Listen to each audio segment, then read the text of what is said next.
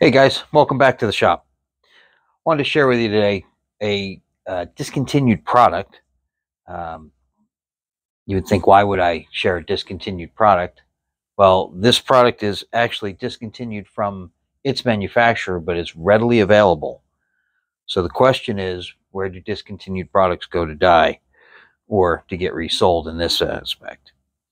So what we're looking at here right now is the Klein model 44216, which was a electrician's multi-tool.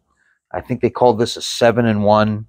Um, this was introduced to uh, the U.S. market in May of 2018. I think was the first availability on this, and then it was discontinued somewhere in uh, 2021 sometime.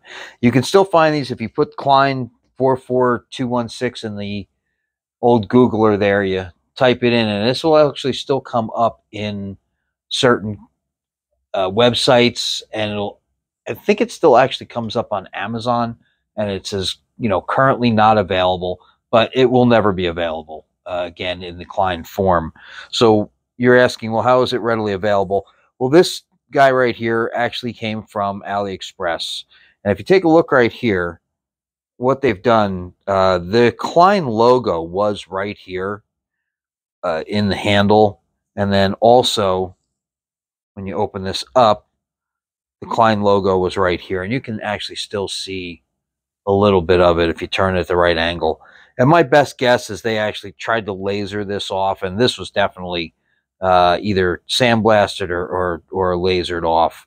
Uh, my guess is laser because of the accuracy. This was a black on white logo here in this corner. So as you can see, this is a little bit different uh, than most multi-tools. This has a plier and then a stripper and a cutter. And you have uh, for solid wire 14, 12, and 10. And then for stranded wire 16, 14, and 12 uh, for the strippers. So it has that somewhat ergonomic handle, though it is uh, it will dig into your hand a little bit when using it. There's not a whole lot of leverage here when you're cutting uh, wire. So this is just standard 14 gauge Romex, and you know you really got to put some effort into it. It will cut, but you got to put basically a lot of oomph in it, and it will dig into your hand a little bit, which is why I think some of the reasons this was uh, not continued on. And it, this was a Klein tool, branded Klein tool, but most Klein tools are made in the USA. This one actually happened to be made overseas in China. So if I were to guess, after looking at this piece here, there could have been some quality control issues with it. I've read some uh, stuff on the uh, people have had it and some reviews and everything. Uh, I saw one where the the piece right here broke off and it made the pliers basically useless. So what all is involved in this? Well, like I said, you have a basically a linesman's type pliers right up front at the nose. You have your strippers, you have your cutters, and then you also have on the outside accessible. Once this is all folded up, you have a knife, and this is where I think the quality control issues came into play which is may have been why they discontinued this. If you look at this blade, see that big old divot right out of there? That is actually a you know that's from forging or whatever. Uh, you know that's a that's a manufacturer's mess right there, and that's how it came out. And I haven't used this other than you know a little bit of cutting and stripping, but you can see the marks on it. These things have been beaten around. You can actually see some color mismatch. I don't know if that shows up on camera, but this is a darker brown than than that is. So there's that, and then uh, the the knife is razor sharp. I mean that's perfectly uh, usable, and then it has on this side it has your flathead, standard flathead with a nail nick to come out of there and, and a decent groove to dig into that and get that nail nick and pull that out of there. These are stiff. There are some serious springs on there. Same thing for uh, the plot, uh, the number two Phillips. So the number two Phillips on this, I actually really like this because this is a, a full 3D number two Phillips on there, and it's just nicely styled.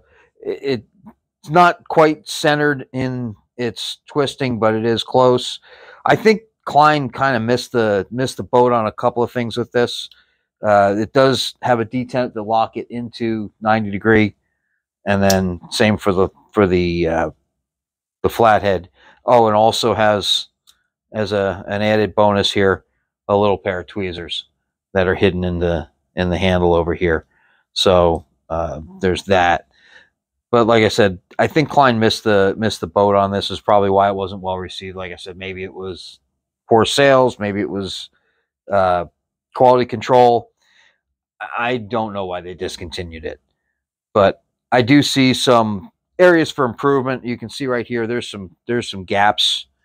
You know, there's a there's a decent amount of gap in between these two right here. So you could have put two more tools in there. You know, uh, I have to laugh because this is probably the the first multi tool that I've ever bought that doesn't have a, a can opener or a bottle opener on it. Yeah, guys, imagine that. And if anybody knows any of the electricians from back in the day, a bottle opener was kind of important for the end of the day. So, but like I said, these are readily available on AliExpress. They show up from time to time. I think about six or eight months ago they were on there and I missed out. Uh, they kind of disappeared and then they hit uh, again recently. I got to see them show up. So I grabbed one. They were $14 uh, delivered. It took about, I want to say about two, three weeks to get here, but, uh, but I, when I saw it, I kind of knew what it was and I figured, let me try it. Let me check it out. Interesting tool. Not exactly sure that uh, it's, you know, super valuable, super usable in its current form. I don't know what exactly this will probably sit in a i have a, a, kind of a go kit for just electrical stuff around the house if i got to change an outlet or i, I got to check voltage on on something or you know it's basically a, a, a small tool bag with a couple of screwdrivers and a meter and a pair of wire strippers so uh, like i said something to grab real quick and, and use to to change an outlet or change a switch so but but that's it. That's all I got for today. So where do good tools? Well, was this a good tool? That's that's that's left to be just to uh, left to be seen. Uh, apparently not because it was discontinued. So, but you can get this from China where it was manufactured, so it's not a knockoff or a counterfeit. It actually is the product, and they're not they're not selling it as a Klein product on AliExpress they have taken the markings off of it and tried to market in that way. So, but if you're interested, it's on there. I would put a link to the page, but the way AliExpress links work, it'll probably be good for a day or two and then disappear. And then you'll all be mad at me that the link doesn't work. So with AliExpress, I would just go on there, and type in seven in one electrician's tool, and this is probably what you're going to end up with. So, with that, uh, thanks for sticking around. Thanks for stopping by. Thanks for checking this out. And I will talk to you on the next one. When you get a chance, go out, enjoy yourself in the shop. Have a great time. See you next time, guys. Thank you.